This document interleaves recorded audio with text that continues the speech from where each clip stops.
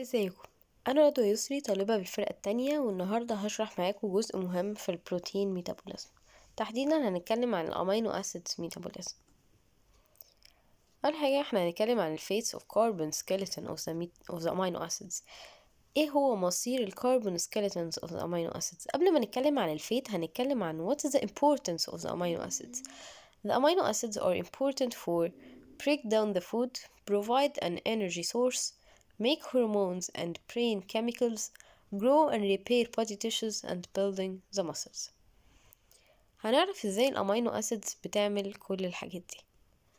أول حاجة عندي الأمينو أسيد علشان يحصل له conversion و degradation. ويكون أي metabolic intermediate أو يكون أي compound لازم بتخلص من الأمينو جروب اللي فيه.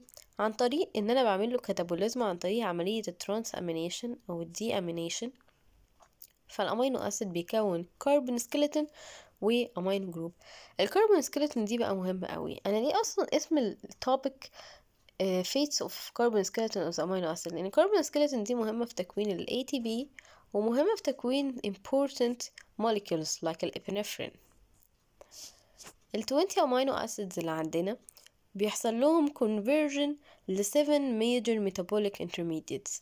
هما ال pyruvate وال oxaloacetate وال alpha-ketoglutarate وال acetyl CoA succinyl CoA ال fumarate وال acetoacetyl CoA ال pyruvate وال oxaloacetate وال alpha-ketoglutarate لحد ال fumarate كل دي أسامي سمعناها في ال citric acid cycle في الكربوهيدرات metabolism. وال acetoacetyl CoA من ضمن الحاجات مثلا اللي سمعناها في ال lipid metabolism. ده معناه إن أنا ال amino acids عندي اللي بتكون ال intermediates دي ممكن يحصل conversion ويتكون لي جلوكوز من ال pyruvate وال oxaloacetate لحد ال fumarate. ممكن تكون لي fatty acids من حاجة زي ال acetoacetyl CoA مثلا. فبناء على كده قسمنا ال amino acids ل 3 classes هما ketogenic amino acids ketogenic and glucogenic أو اللي بنسميهم mixed amino acids أو glucogenic amino acids. ال ketogenic amino acids هي ال amino acids اللي بتديني ketone bodies و fatty acids. طب ال glucogenic amino acids هي ال amino acids اللي بيحصل لها conversion ل metabolites ال metabolites دي ممكن يحصل لها conversion وتديني جلوكوز طب وال mixed amino acids هي ال amino acids اللي ممكن تديني fatty acids وجلوكوز ال ketogenic amino acids زي ال lysine وال leucine ال mixed زي ال tryptophan وال phenylalanine tyrosine isoleucine و threonine و remaining the remaining 14 amino acids هما glucogenic amino acids. دي صورة بتوضح ال glucogenic وال ketogenic وال mixed amino acids. دي صورة بتوضح ال amino acids اللي بتكون ال intermediates دي إزاي ال intermediates دي بتخش ال Krebs cycle صورة بتوضح ال Krebs cycle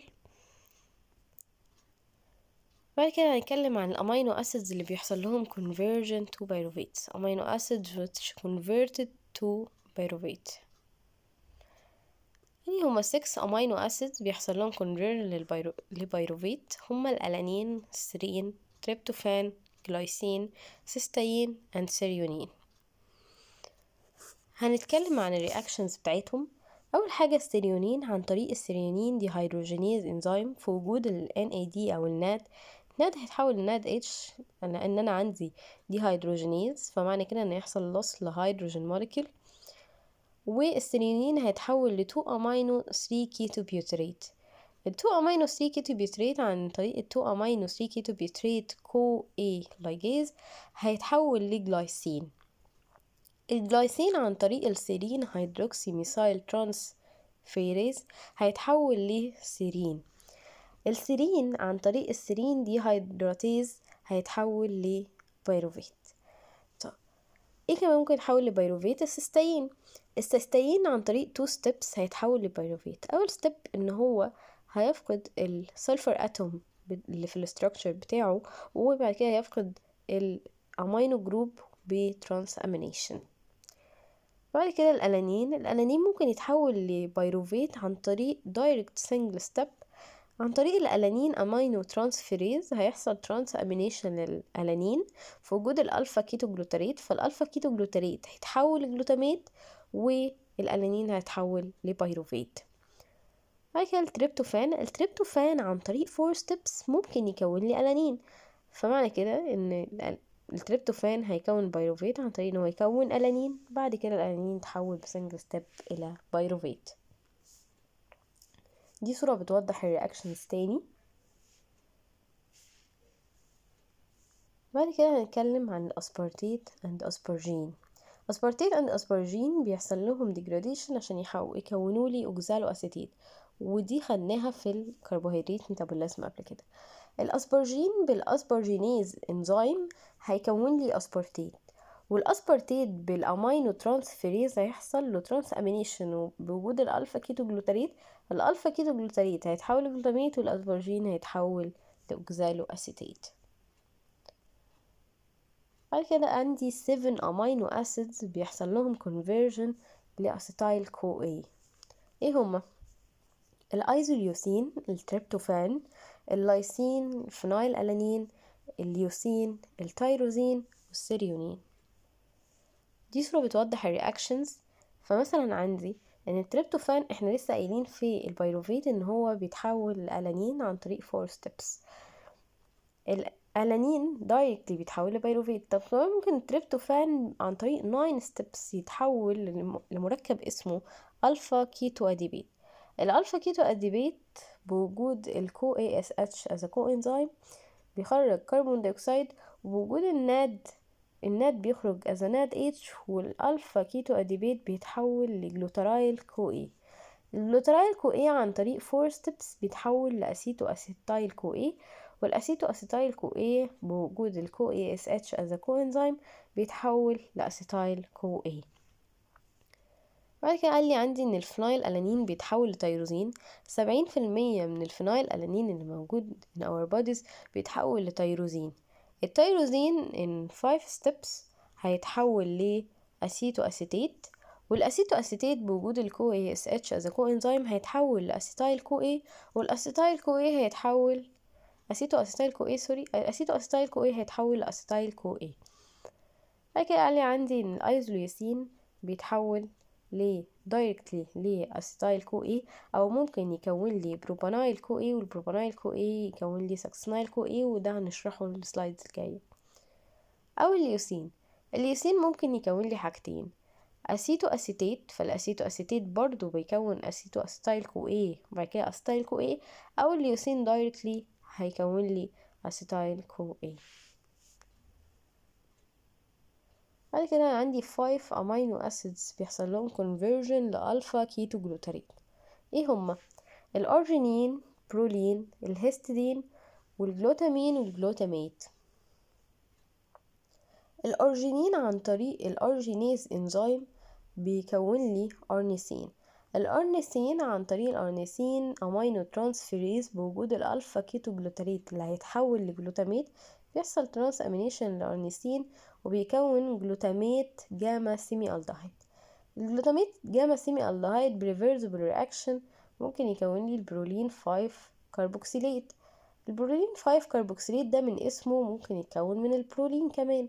البرولين عن طريق انزيم ال proline oxidase بيكون ال pyrroline 5 carboxylate اللي بيكون لي بعد كده برضو ب reversible reaction قلنا ال glutamate gamma semialdehyde ال glutamate gamma semialdehyde بال dehydrogenase enzyme طبعا dehydrogenase يبقى لازم في acceptor للهيدروجين زي ال NAD أو ال NAD بيكون لي glutamate. ال glutamate ممكن كمان يتكون من الجلوتامين. الجلوتامين ممكن يحصل له trans deamination بال glutaminase enzyme ويكون لي glutamate ال glutamate عن طريق ال glutamate dehydrogenase هيكون لي ال alpha ketoglutarate طب أنا كده برضو فاضل عندي amino acid قال ال histidine ب four steps بيتحول ل glutamate ومن glutamate يتحول ل alpha ketoglutarate بعد كده ال amino acids اللي بيحصل لها conversion ل succinyl CoA هما four amino acids هما الميثيونين السيريونين الأيزوليوسين والفالين. الميثيونين بثري ستيبس بيكون ال homocysteine وال homocysteine بيكون لي ال alpha ketobutyrate ال alpha ketobutyrate عن طريق ال alpha keto acid dehydrogenase بيكون لي ال propionyl CoA propionyl CoA عن طريق two steps هيكون لي ال methylmalonyl CoA ال methylmalonyl CoA عن طريق ال methylmalonyl CoA mutase enzyme وبوجود ال coenzyme B 12 بيكون لي CoA كده ده واحد فاضل تلاتة amino acid.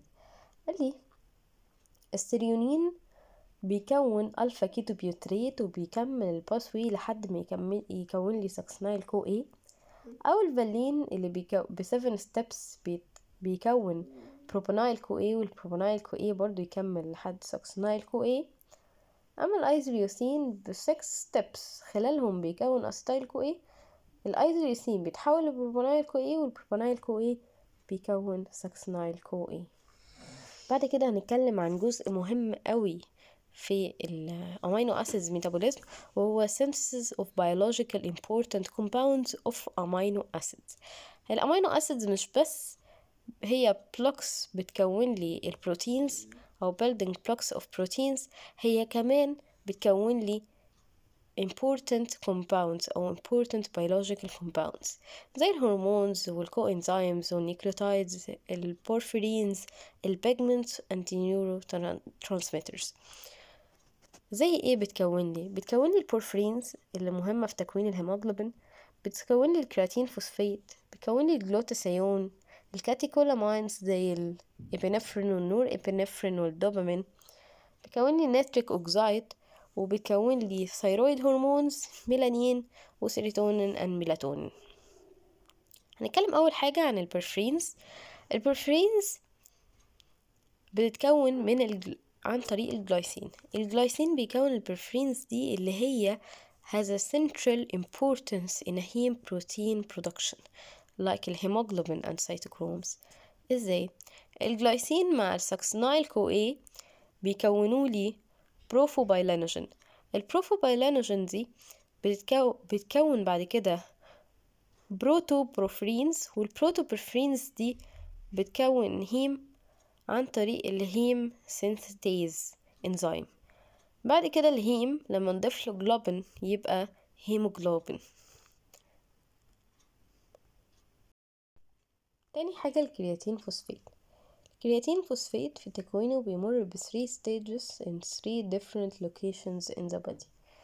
أول حاجة in the kidney الجلايسين عن طريق ال transamidase enzyme بيكون لي ال guanidoacetate ال guanidoacetate بيروح لل liver وعن طريق ال SAM أو ال S adenosyl adenosyl methionine اللي بيكون اللي بيتحول إلى ال S adenosyl homocysteine عن طريق ال methyltransferase enzyme بيكون لي ال creatine. ال creatine هيحصل له phosphorylation ويكون ال creatine phosphate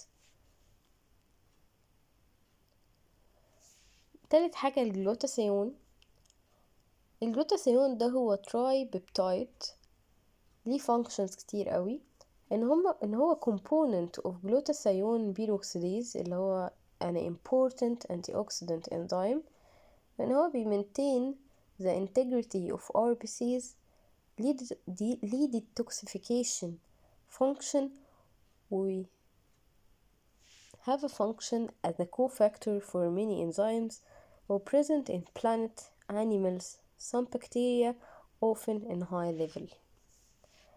الجلوتاثيون بيتكون من الجلوتاميت بلس السيستين.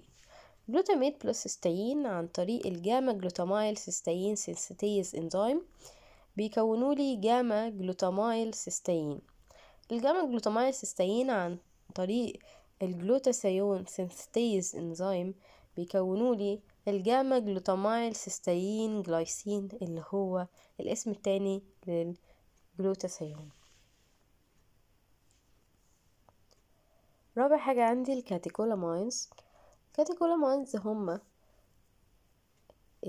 الدوبامين وال norepinephrine وال epinephrine ال norepinephrine وال epinephrine ليهم functions كتير. منهم إن هما بيعملوا regulation للكربوهيدرات أو ال glycogenolysis. وبيعملوا regulate لل lipid metabolism أو ال lipolysis وبيعملوا increase in blood pressure. بيتكونوا إزاي؟ الفينايل ألانين زي ما إحنا كنا قايلين الفينايل ألانين بيتحول لتيروزين عن طريق ال phenylalanine hydroxylase enzyme ال tyrosine عن طريق ال tyrosine hydroxylase enzyme بيتحول ل DOPA ال DOPA عن طريق ال aromatic amino acid decarboxylase بيتحول لدوبامين. الدوبامين عن طريق ال dopamine beta hydroxylase بيكون ال norepinephrine وال norepinephrine بعد كده بيتحول ل epinephrine عن طريق ال phenyl ethanol ethanolamine N-methyltransferase. بعد كده ال nitric oxide ال nitric oxide هو an important compound إن هو بيشتغل as a vasodilator عن طريق إن هو بيعمل vasodilator إن هو بيعمل relaxation in the inner muscle of the blood vessels وبيعمل uh, widen لل blood vessel فبيقلل ال blood pressure بيتكون من ال arginine. ال arginine بي بيكون لي ال hydroxyarginine وال hydroxyarginine بعد كده بيكون مركب اسمه سترولين والسترولين يكون سترولين ونيتريك أوكسيد Thanks for your watching. This video is under supervision of the Dr. Saeed Sabit and Dr. Abdul